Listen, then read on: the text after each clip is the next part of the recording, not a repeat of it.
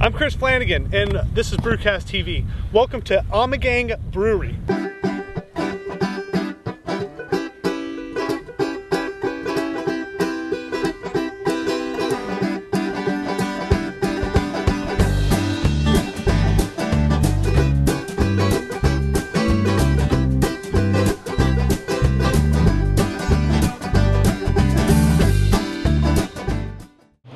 Chris Flanagan with Brewcast.tv, and today we're in Cooperstown, New York, with Phil Leinhart, the head brew, uh, the brew master, so we say, brew master at Ommegang Brewery.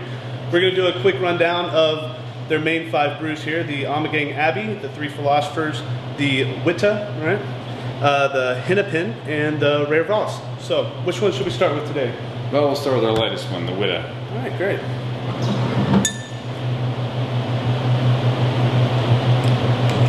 So this is a um, similar to a Belgian wit.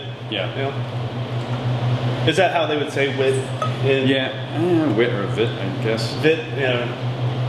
But yeah, it says uh, a good percentage of unmalted wheat as well as malted wheat, and uh, some oats in there. Oh, cool. And the cloudiness, that's Nice. that's normal for a, a wheat. Yeah, that's a characteristic of the style.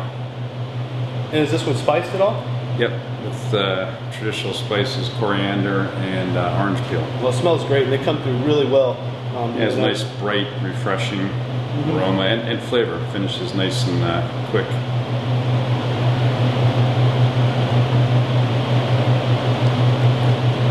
Yeah, I think quick's a good word for that because it really hits up front. You get a, a sharp. Right. It has a fast end. Yeah, it just kind of kind of comes style. through and makes you want to take another sip, right?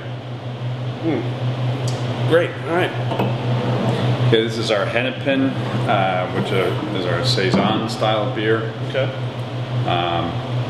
Has more bitterness and a slight hop aroma.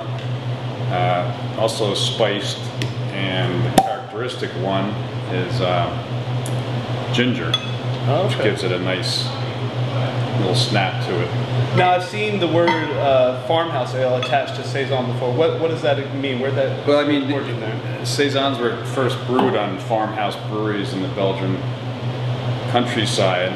Uh, brewed in the cooler months to be consumed in the summer by the farm hands during uh, the harvest and in the summertime. Okay.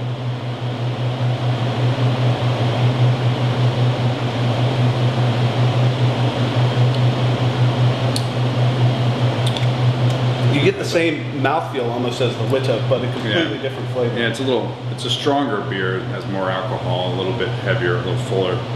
But A uh, little more bitterness too, right? Yeah. Yeah. That, that hits Yeah. the tongue pretty, pretty the solid. bitterness gives it a, a crispness, as well as the ginger gives it a little bit Oh, of yeah. that snap. That's definitely a, um, a very flavorful beverage there. Yeah, it's our biggest seller actually. Oh, really? Yep. Okay, so what's up next? Uh, we have our Rare Vos, which is Flemish for sly fox. Okay. There's a famous cafe in Brussels with the name Rare Vos where I hear some of the Belgian professional cyclists go to have a drink and something to eat. Uh, it's an amber, what they might call, they refer to sometimes as a uh, cafe beer, okay. cafe amber.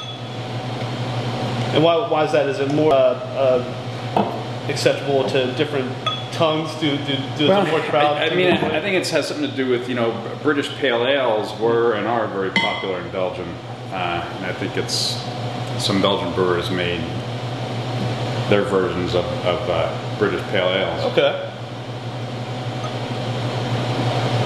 It's a bit sweeter on the nose than the, the other. Yeah, it has um, the spice that's really up front in this is uh, grains of paradise. I mean, relatively up front. Um, also has some uh, caramel malts for the color and sweetness, and Okay. Be- Belgian aroma malt.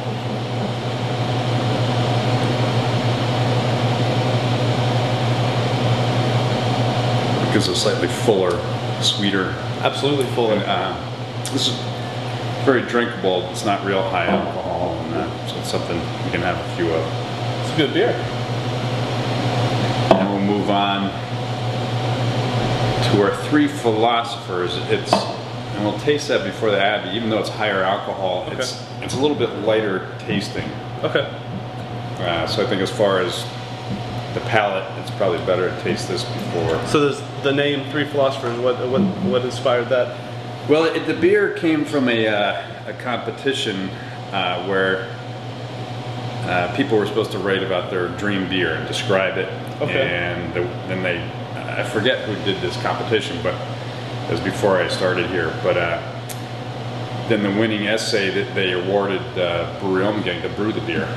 Oh, And okay. I'm not sure how the name came to being. Uh, but it was originally just a one-off, but it's so popular that uh, now it's one of our main beers. And the recipe's been the same since it was. It's always been a blended beer, right? Yep, has uh, about two percent by volume uh, Kriek blended into it. Excellent. And the Gives Kriek it- is is uh, Belgian for cherry. Yes. So for those who kind of, I'm sure some people are wondering when when you say it's two percent cherry or Kriek, that's a, a an ale that was aged with cherries. Right. Okay. Well, it's got a nice uh, cherry wood color there almost. Yeah. you know, it's partly from the excuse me, partly from the Kriek and from the uh, the darker malts.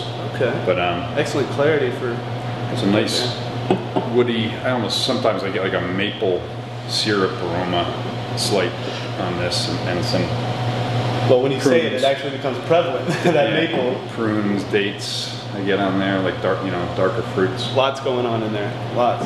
I, I know that this is a favorite of a lot of the people on my homebrew forum. It has a nice firm end. It's not too sweet.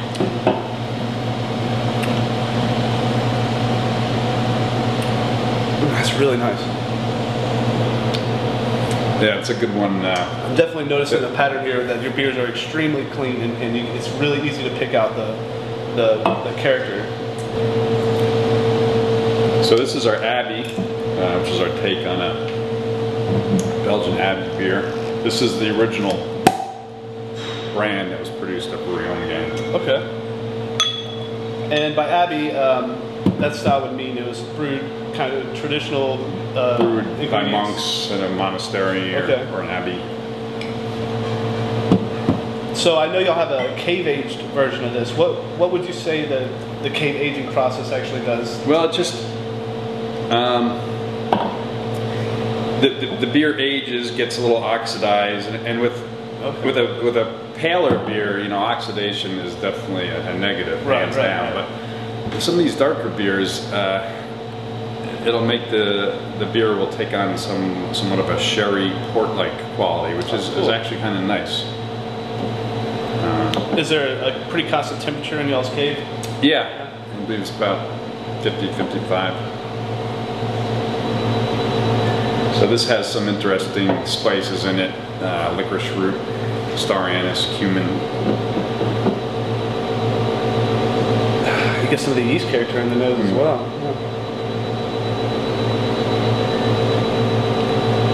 So it also seems a pattern that uh, among these Belgian ales, you get some real fruity tones to the aroma and the flavor, and that's probably Oh, from yeah. the yeast and, and, And the temperatures you ferment and the temperatures. Okay. Very estery.